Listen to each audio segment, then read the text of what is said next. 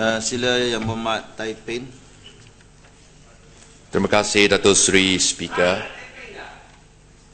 kerana izinkan saya bangun mewakili negeri Perak membahaskan rang undang-undang pembekalan tahun 2017. Terlebih dahulu kepada rakan-rakan kaum India yang beragama Hindu, izinkan saya mengucapkan selamat menyambut Hari Deepawali, Deepawali Watagu, Imbami Shugu, Yarorum Waugu, dan saya berharap pada tahun yang akan datang, semasa Sekretariat Parlimen merancangkan uh, takvin uh, mesyuarat kita, pada hari Dipawali diberikan cuti khas kepada ahli-ahli parlimen yang beragama beragama Hindu. Tuan Ini Petua, Perak dulunya antara negeri yang paling kaya. Lembah Kintah merupakan pengeluar biji timah terbesar di dunia.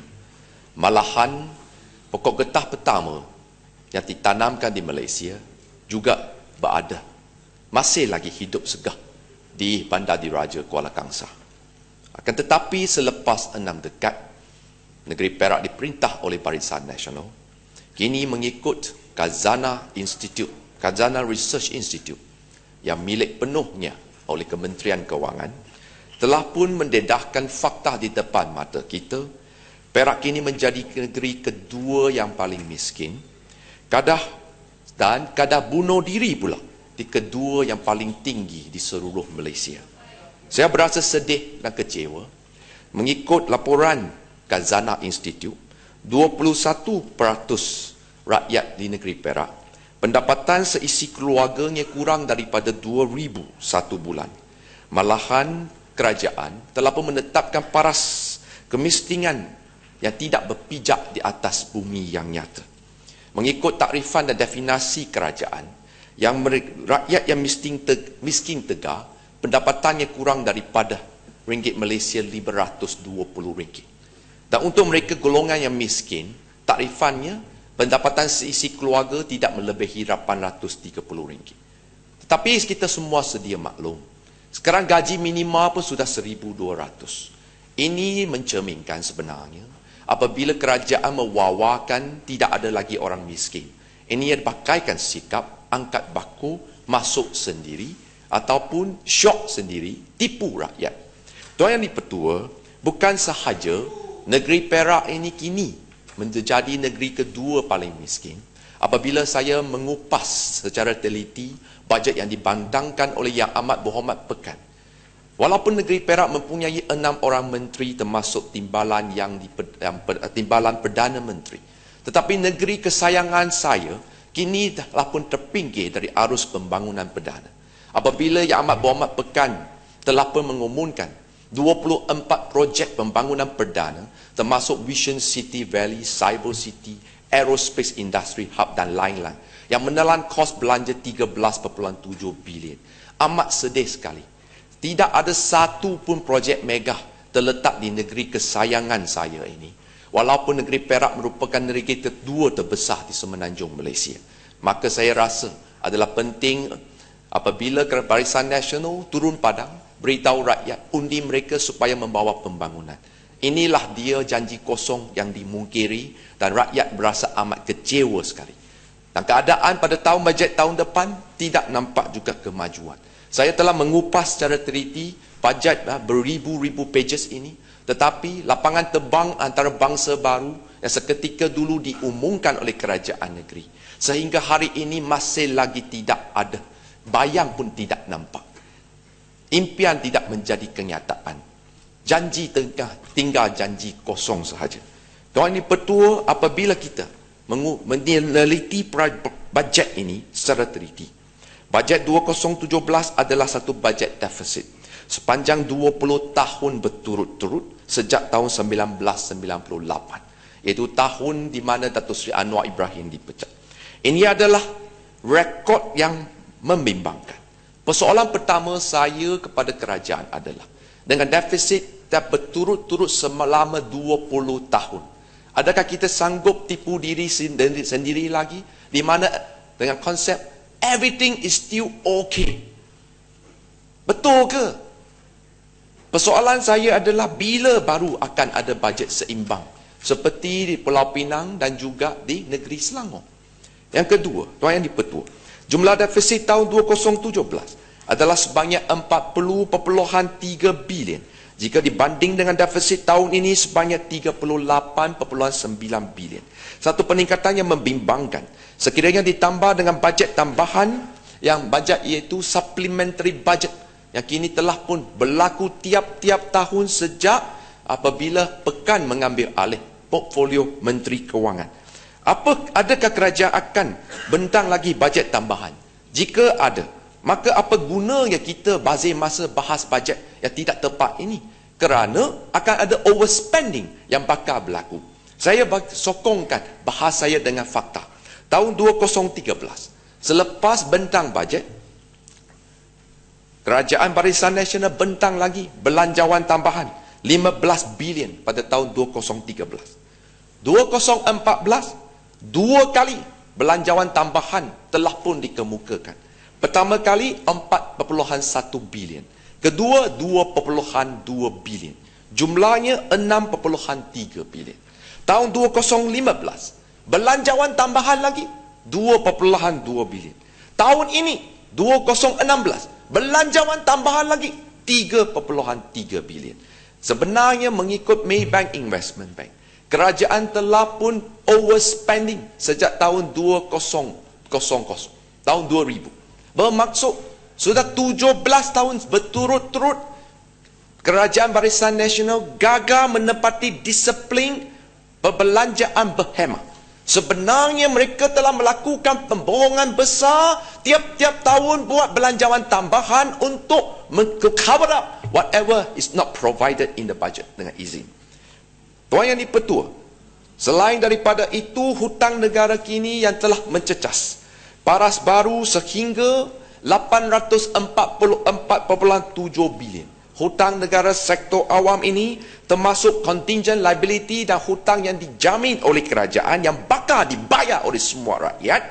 Jumlah ini dapat dilihat dari kos membayar hutang negara yang semakin hari semakin meningkat. Ledakan hutang yang menggunung ini kos membayar hutang negara menaik daripada 26.4 bilion tahun ini sehingga 28.8 bilion pada tahun depan. Dengan kata lain, negara kita terpaksa membayar 2.4 bilion kos dan faedah tiap-tiap bulan. Itu satu hari lebih 80 juta faedah dan kos untuk membayar hutang negara. Dan rakyat terpaksa menanggung hutang lebih daripada 28 ribu tiap-tiap orang. Yang lebih mengkhawatirkan adalah Malaysia kini telah mengalami kenaikan hutang setiap tahun yang tidak pernah surut tetapi kerajaan tidak mampu untuk mengurangkan hutang yang semakin menggunung. Maka persoalan ketiga saya kepada kerajaan adalah apakah langkah kerajaan ataupun uh, untuk ikat perut dan rancangan kerajaan untuk mengurangkan hutang negara. Ini adalah persoalan yang perlu dijawab oleh Menteri Kewangan. Tuan Yang Dipertua, jumlah hutang yang saya sebut tadi masih lagi tidak termas dikira masuk 50.4 bilion yang kini ditanggung oleh 29 buah syarikat GLC dan hutang 1MDB sebanyak 30 bilion. Dengan kata lain, rakyat kini terpaksa berhadapan dengan risiko yang amat tinggi kerana beban hutang yang semakin berat. Tuan Di Pertua, rakyat terpaksa ikat perut kerana subsidi barang keperluan asas seperti minyak, diesel, gula, gandum, beras maupun bulan depan minyak masak kini telah atau akan dihapuskan. Penghapusan subsidi-subsidi menunjukkan kekangan kewangan kerajaan dan ini bakal menyaksikan kenaikan harga barang.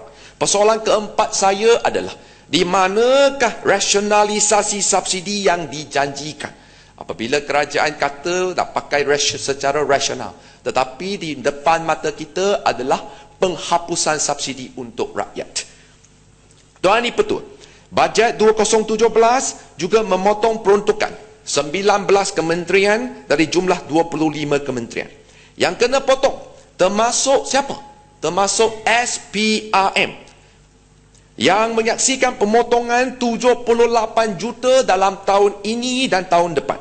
Peruntukan SPRM jatuh dari 295 juta ringgit kepada 216 juta ringgit. Pemotongan lebih kurang 1 per 3 bajet SPRM membuktikan janji Barisan Nasional untuk bantras rasuah adalah janji kosong. Selain SPRM, Jabatan kedua audit negara yang memainkan peranan penting untuk mencegah ketirisan, pembazilan, penyelewengan juga mengalami pemotongan bajet yang secara ketara. Jabatan audit negara peruntukannya akan jatuh dari 163 juta sehingga 335 juta. Satu pemotongan 28 juta ini akan menjejaskan usaha Jabatan Audit Negara untuk mencegah ketirisan, pembaziran maupun penyelewengan. Akhirnya, yang akan menanggung rugi adalah rakyat dan negara. Maka persoalan kelima saya, Transparency Index negara kita telah mengalami kejatuhan secara ketara. Dulu kita menduduki tangga ke-36. Kini di bawah yang amat berhormat pekan, kita dah kedudukan negara merosok di tangga 54 dan dengan pemotongan bajet kepada SPRM dan juga Jabatan Audit Negara. Di mana kata tekad politik? Where is your political will to combat corruption? Dengan izin. Tuan Yang Dipertua, walaupun ekonomi kini kian lembab, walaupun mungkin Baling dan rakan-rakan di sebelah sana masih lagi boleh angkat bako masuk sendiri, tetapi di pihak sini kita berasa cukup bimbang sekali. Saya di, baru dapat jawapan daripada menteri di Jabatan Perdana Menteri. Apabila sektor awam membuka untuk permohonan kerja, jumlah kekosongannya 14,000 jawatan kosong. Tetapi yang datang memohon untuk temu janji cari kerja 1.64 juta orang. Cuma minta 14,000 jawatan kosong. 1.46 rakyat juta rakyat Malaysia memohon untuk kerja. Ini mencerminkan betapa betapa seriusnya masalah peluang pekerjaan ini yang semakin menguncup. Malaham semalam, Dewan Yang Mulia ini digemparkan dengan jawapan oleh Menteri, jika ekonomi betul-betul baik, mengapa GLC dan juga perbadanan di bawah Menteri tahun ini sahaja memberhentikan 6,170 orang pekerja di, ataupun kontrak mereka ditamatkan dan tidak diperbarui. 6,170 orang. Dan jika kita lihat sektor swasta, keadaannya semakin terhimpit. Maybank, bank utama negara kita, telah mengumumkan mereka akan tutup 27 cawangan pada tahun depan. CIMB Bank, bank kedua terbesar negara ini, akan tutup 23 cawangan. Shell, minyak syarikat minyak terunggu akan VSS atau pecat 1,700 pekerja-pekerja mereka. RHP Bank akan juga memberhentikan 1,200 orang pekerja-pekerja mereka. Dell Computer akan memecat 3,000 orang pekerja-pekerja mereka. Dan lain-lain lagi. Adakah kita masih percaya kepada yang amat berhormat pekan, everything is still okay? Saya tidak bersetuju. Tuan Di Petua, Walaupun ekonomi kian lembab, kerajaan masih cadang untuk kutip 40 bilion cukai GST pada tahun depan. Ini bererti setiap warga negara akan menanggung 1,333 ringgit. Jika satu keluarga mempunyai lima orang, jumlah GST yang akan dibayar adalah 6,500 ringgit. Satu jumlah yang jauh lebih tinggi daripada BRIM. Dengan kata lain sebenarnya saya ucap tahniah kepada kerajaan Barisan Nasional kerana pandai membina persepsi yang serong. Sini ambil hisap darah rakyat, ambil enam ringgit. Tangan kanan ambil enam ringgit. Tangan kiri bagi satu ringgit. Yang ambil enam. Yang bagi satu. Siapa bijak, siapa bodoh. Jawapan dalam hati masing-masing. Dan di petua, saya ingin Typing. bertanya kepada juga. Typing. Selain daripada subsidi, Typing. Bajet ini menyaksikan banyak nikmat tapi, kepada rakyat sebanyak 259 juta. Tak percelahan tapi. Tak ada tak ada masa. tak ada. Ah ini Bagan Serai. Kita- Bagan Serai kita cakap perak kosong kan? duduk. Kita sama perak Semalam kan? sudah cakap Perak kosong setengah jam bazir Ah. masa dewan Tu duduk. cakap merepek. Tuan Masa cakap merepek, ini semua adalah berpaksikan merepek, kepada tak berani. fakta yang diperuntukkan dalam buku bajet. Bahkan Serai semalam sudah bu- bu- buat omong kosong, angan-angan budgeting setengah jam, kita tak, tak, tak dilayan. Tuan Ibu Ketua, bajet ini menyaksikan banyak nikmat kepada rakyat. Sebanyak lebih 259 juta akan dihapuskan. Dengar dulu. Ini termaksud biasiswa berseri sebanyak 30 juta akan dimansuhkan. Biasiswa berseri adalah satu-satunya biasiswa yang memberikan pelajar cemerlang full A SPM. Baru boleh layak dapat. Saya tengok bahasa bagan segarai pergi pun tak dapat berseri scholarship. Tetapi berseri scholarship akan dihapuskan 100% mulai tahun depan. Selain daripada itu, susu, susu, program susu percuma satu Malaysia yang dulu menelan belanja 1.6 juta hapuskan. Ketiga, dana penyelenggaraan bangunan kerajaan sebanyak 70 juta hapuskan. Biasiswa sukan. Apabila kita kata utamakan atlet sukan supaya negara kita dapat meraih pingat emas pertama di Tokyo Olympic. Biasiswa sukan dihapuskan. Yang ke Keempat, dana biayaan aktiviti co-curriculum sekolah-sekolah dihapuskan. Satu jumlah sebanyak, selain daripada itu, satu jumlah sebanyak 593 juta untuk membiayai pampasan kepada rebu raya swasta juga telah pun diangkat keluar. Maka adalah dijangka tahun depan kadar to akan naik lagi. Rakyat terpaksa ikat perut tetapi pemimpin Barisan Nasional tetap boros. Persoalan ketujuh saya, adakah kadar to akan naik dan membebankan rakyat pada tahun depan? Saya rasa negara Malaysia adalah satu-satu negara yang amat pelik sekali. Kita dah bayar cukai. Bayar income tax, bayar GST. Beri kereta, bayar road tax. Okay? Kerja, bayar, bayar to. To itu, jika ikut kontrak, Lebuh Raya plus highway tamat kontrak 2018. Tapi kerajaan Barisan Nasional dengan slogan rakyat didahulukan. Bukan saja dia tidak tamatkan kontrak untuk memudahkan rakyat, plus highway dipanjangkan hayatnya sehingga tahun 2038. Siapa yang mengkhianati rakyat ini? Jawablah yang mahu buat pekan. Ini projek siapa? Bukannya plus highway tak ada untung. Cost panel itu plus highway 6.5 bilion. Jumlah kutipan tongnya 52 bilion. Untungnya lebih 1000 peratus. Mengapa terus hisap darah rakyat? Ha? Apa itu menteri buat? Semua boleh ha? sepetak ya, uh, letak jawatan. Ini amat-amat menyayat hati dan menghampakan rakyat. Tuan Yang Dipertua selain itu, saya nak tanya kepada wawasan kita di depan meja kita ada lisalah pledge daripada Menteri Kementerian Pengajian Tinggi. The Higher Education Ministry pledge. We are to provide the best education system that Malaysia can offer to the world. Ha, ini bukan saya cakap. Ha? Bagan serai. Ini daripada menteri. Oh, dia kata apa? Okey, kita dah buat 2007. Kita buat initiation of research university project. Five university were chosen to spur the nation research, development and innovation. Tetapi di depan mata kita, jangan tipu rakyat lagi. Kementerian IPTA ni semua kena potong bajet secara serius. Lima buah university research mengalami pemotongan bajet lebih kurang satu per tiga. Okey? Apa yang dicakap indah kabah dari rupa. Cakap tak serupa bikin. Sini kata memacu pembangunan sains R&D. Sana potong bajet. Itu profesor punya kontrak semua tidak dapat diperbarui. Apa itu? Tuan Yang Dipertua sel- Eh ini diperuntukkan dalam bajet. Saya baca Bagan Serai. Dengar baik-baik. Bajet IPTA 2016 dipotong 19.23%. 2017 dipotong lebih kurang 16.5%. Pem, peruntukan kementerian Kementerian Pengajian Tinggi jatuh daripada 13.37 bilion menjadi 12.13 12.13 bilion. Operating expenses of the Wasitis of IPTA jatuh daripada 2 7.6 bilion menjadi 6.2 bilion.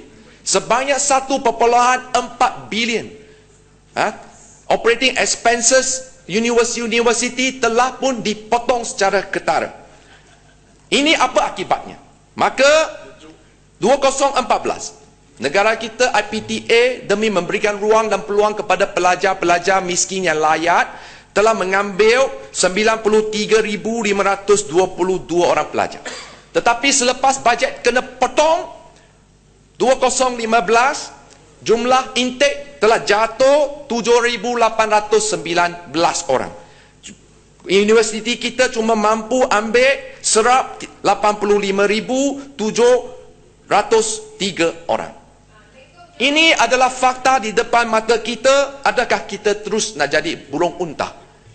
Tuan Ibu Petua, selain daripada itu, saya ingin membawa perhatian kepada kementerian tentang janji-janji.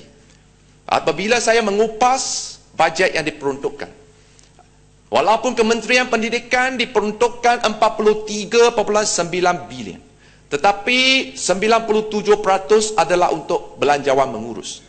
Hanya 3% peruntukan untuk kementerian digunakan pakai untuk pembangunan iaitu membina sekolah. Tetapi amat sedih sekali. Walaupun saya nak beritahu, SMJK, Sekolah Menengah Jenis Kebangsaan, di bawah kementerian, walaupun di negara ini ada 78 buah, seperti Sampai Evi Maria dan lain-lain. Tapi peruntukan saya baca dari bawah, atas, kiri, kanan, peruntukan yang diperuntukkan oleh SMJK adalah K-O-S-O-N-G, kosong. Selain itu, jika kita bandingkan Sekolah Jenis Kebangsaan SJKC yang diperuntukkan 50 juta.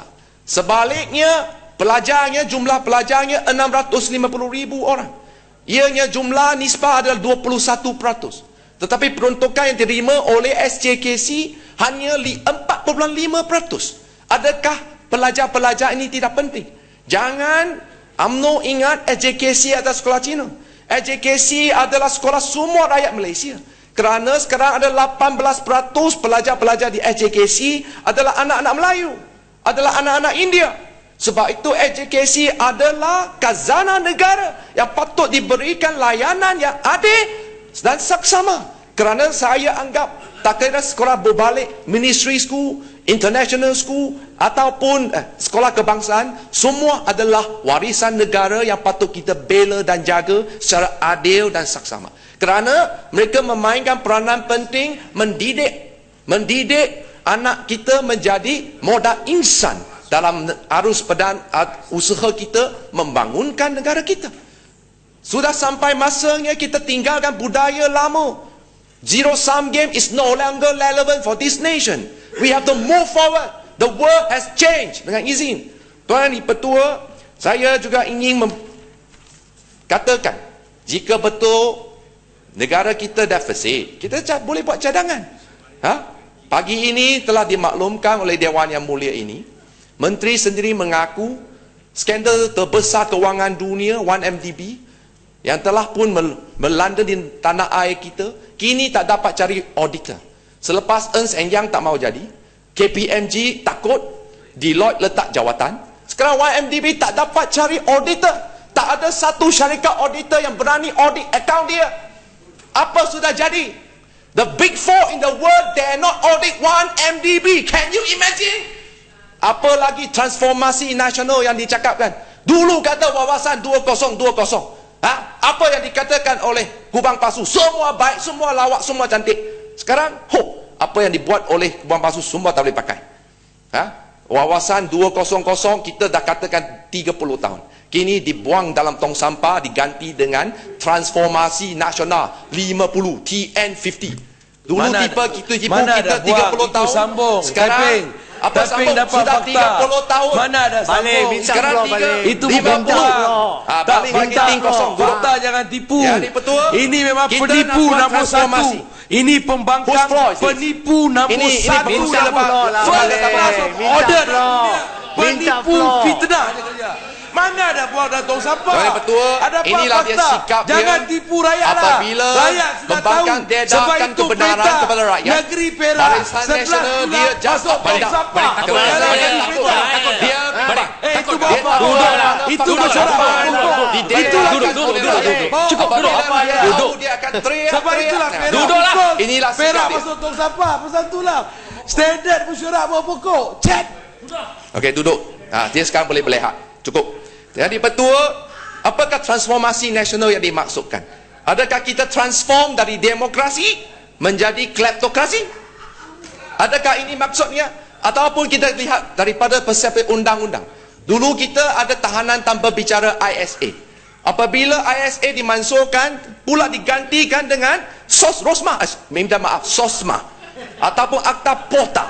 Semuanya adalah akta eh, membenarkan eh, tahanan tanpa bicara yang mencabur hak asasi manusia. Adakah ini transformasi yang dimaksudkan? Dulu ada SST. Oh, setahun kutip 16 bilion. Sekarang transformasi menjadi GST. Setahun ku- kutip 40 bilion. Tiap-tiap hari hisap darah rakyat. Tanpa, tetapi cakap tak apa. Semua cantik, semua lawak. Tuan yang dipetua, negara kita adalah negara yang bertuah. Tetapi malangnya kita tidak ada kerajaan. Bertuah yang sebab ada cemerlang. UMNO dan BN. Ha, inilah sebab ha, inilah dia sikap. Malangnya kerana balik. Lagi mau tipu lagi. Ada jik, Tuan ni betul betul sekiranya kita nak mengurangkan defisit kita. Saya boleh buat satu cadangan. Yang Amat Berhormat Pekan sendiri mengaku dalam akaun peribadi ada 4.2 bilion. 400 4,200 juta.